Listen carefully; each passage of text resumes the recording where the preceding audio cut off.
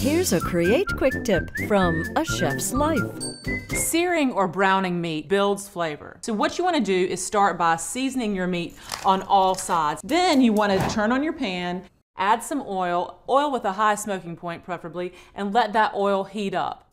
Put that meat in there and resist the urge to move it, shake it around, turn it around, and leave it undisturbed for about three minutes. You want to brown it till it's nice and caramelized on every single side.